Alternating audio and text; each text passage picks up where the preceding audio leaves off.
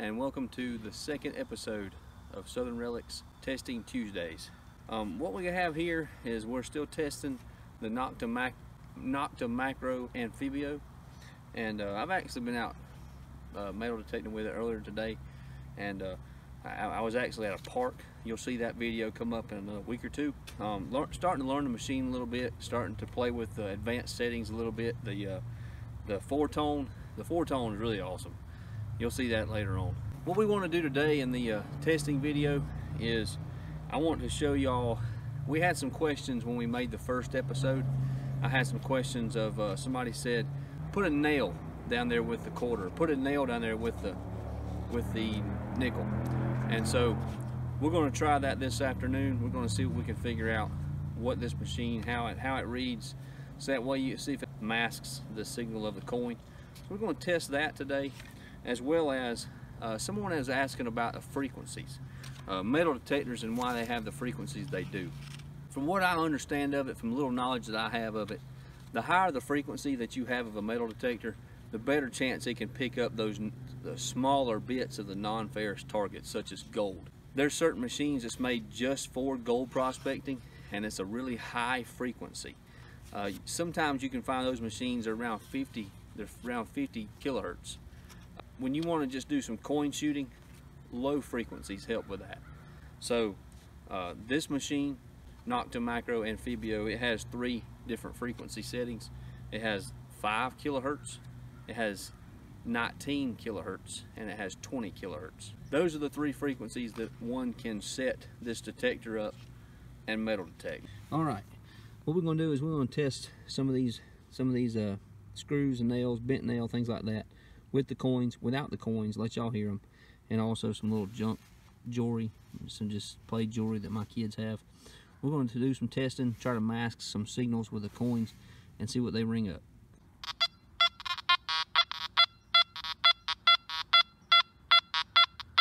Seventy-nine, eighty-one, eighty-four. Let's do it this way. Now we're understanding that a nickel rings up about 30 or 31 and with the nail next to it look what it's doing.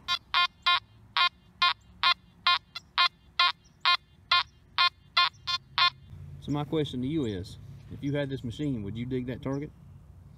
I would because it's in the it's in those 20s I mean you you got to dig stuff like that because especially when you hear that jumpy up and down you got to dig them all right here we have a penny and a bent nail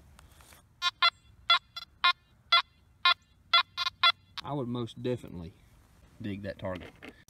All right, here we have a dime and a, I found this nail the other day and y'all seen it in the, the video from the 102 year old property where Chris found the Indian head penny.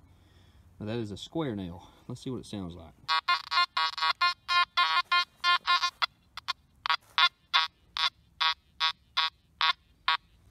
All right, let's see what the dime sounds like again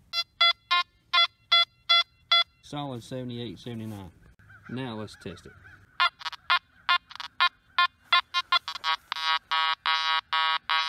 Well, it depends on which way you hit it when you're gridding off and searching. If y'all notice that second time, it just sounded like iron. It just sounded like a, and it rang off a four. I mean, to me, that's just iron. But there's a penny or there's a dime right underneath it. If you hit it right on, man, it goes from 31, 41, 51.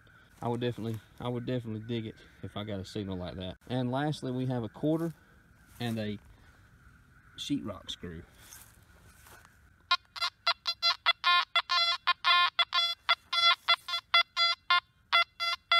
Most definitely I would dig that. And let's do the quarter and that bent nail. Yep, I would dig it. Our little junk jewelry, You hear the mid-tone, you hear the high tone. All right, one of the last tests we're gonna do for this video, someone said, hey Stephen, put a quarter, a nickel, and a penny together and see what it sounds like and see what it rings up.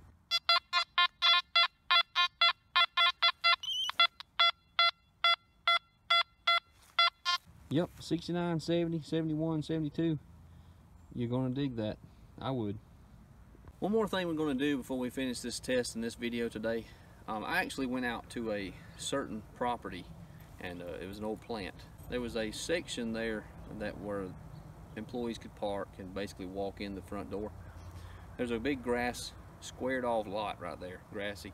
There's a flagpole in the middle, has concrete and things going out to the flagpole and then of course concrete sidewalk. I went out there and I want to show you the uh, what I found. Honestly, I believe it was just when they when they actually done all the grading and everything years and years ago. I, I believe it was just uh, they, they they brought everything in just fill dirt, and there's really no. I honestly I found no coins, but I want to show y'all the trash that I found. I want to show you what it was pull, picking up on the machine, and so that way you get a better idea of the trash and what it sounds like, what it reads up with the VDI, and that way you get a better idea of how you want to gauge whether you want to purchase one of these these uh, detectors or not. So let's take a look at this machine and this detector in a trashy area, finding trash, see what it rings up. Appreciate you watching. Okay, first target out here in this little squared off area here where I'm at at an old business.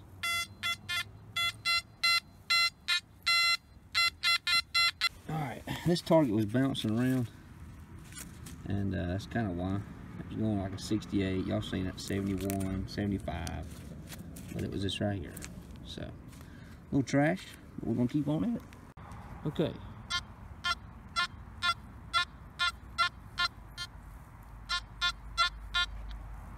Something kind of small.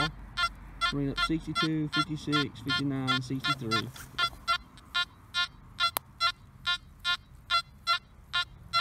I'm gonna say it's probably aluminum or pull tab, something along line. It's got that. It's almost sound like it's going. It, did it. So it's got. So it seems to me like it's got a hole in the middle of it, like a like a pull tab. So, but I can't remember what they ring up. So we're going to see if it's what it is. It's showing the depth is kind of deep though, so it might be something good. Let's dig and find out. Okay, well, that's what it was just some sort of a coupling or something. But uh, let's see what it rings up now. See, it's still jumpy. All right, this one's got me curious. No VDI readout.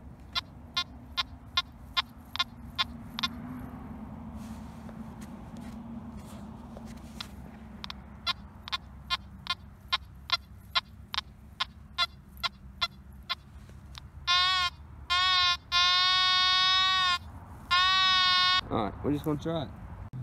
Alright, I'm gonna tell you what I think it is. I think it's something really, really small. Really small and shallow. But this uh, this right here I'll tell whether it is or not. It may not be. Nope.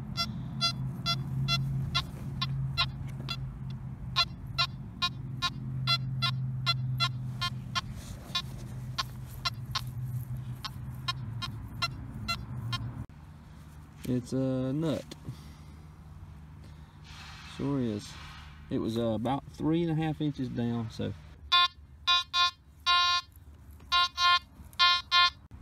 Alright, I got a, I don't know, four inch plug pulled out.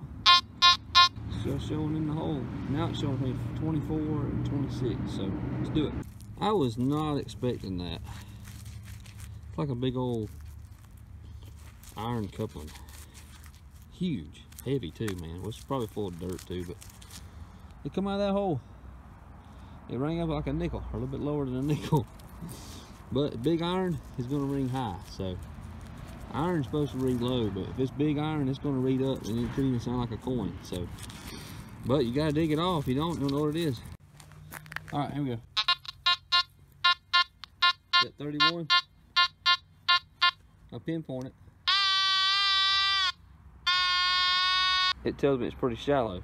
So let's dig it. Yep, it was right underneath the surface. It was a good old bolt, about inch and a half, inch and three quarter long, something like that.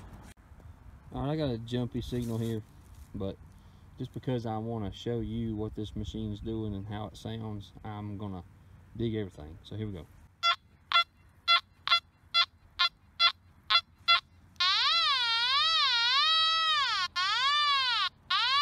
Showing it's underneath the surface. All right, well, that's what it was. Just a piece of iron, just an iron looking plate type deal. They could have had something written on it one time, but. All right, got another signal here. It's a 22.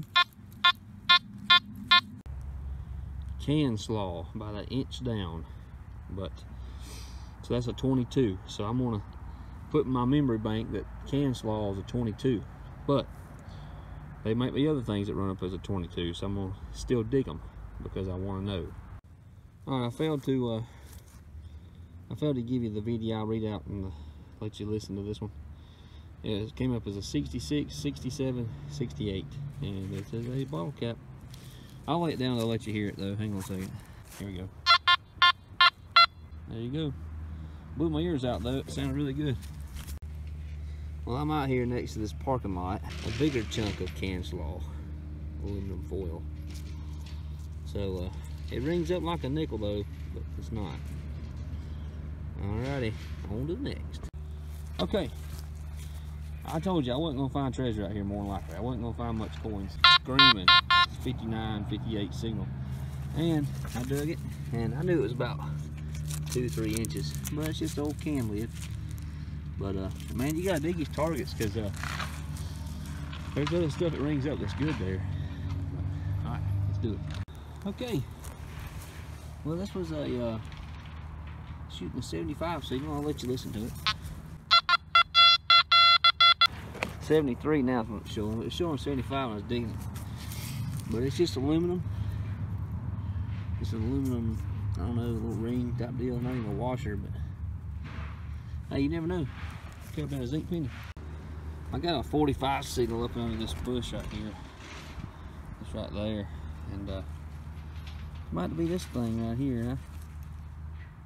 I'm trying to trying to figure out what that is. I think it's something electrical. I see a wire sticking out the back. Well, I found another one attached to that. Yep, that is a light bulb. okay, so I don't have to know what it was. It's a light bulb. So I guess when they change light bulbs out, they just throw them on it. All right. Okay, I wanted to dig one for the sake of y'all, so y'all can see it. But it's just a piece of trash. It's one of those little seals they put on like a oil bottle of oil when you get oil for the for your car. Anyway, it's just one of those seals goes on top of a bottle. But I wanted to dig one for you so you see what it says. So, in my opinion, what I would do is I'd probably notch out everything up to about 20. Um, because if I'm not mistaken, a nickel rings up. I might be wrong. A nickel rings up somewhere in the 20s. I could be wrong, but I'll uh, I'll verify that. But um, if, if I'm wrong, I'll put it I'll put it right there on the screen you can see it. But I'll let you know when a nickel rings up. But yeah, I mean, I'm, I'm probably going to notch out the teens and the single digits just because I don't want to hear it. Just skip right over it. I told you we weren't going to find anything but trash, but it's okay. The whole idea here is for me to learn this detector and for me to learn what this detector will do uh, with coins, without coins, with trash, with trash with coins, with trash by itself. Thank you for taking the time today to watch this. If this is something you're interested in, if you're interested in the Anfibio, uh, you can go to our links in the description and you can go through there with Kellyco and you can check out and purchase one of those machines. And I'm telling you, you won't go wrong with the Anfibio. It's a very advanced machine, but it seems to be very easy to learn. So, with that being said, I hope you have a good day and Happy New Year.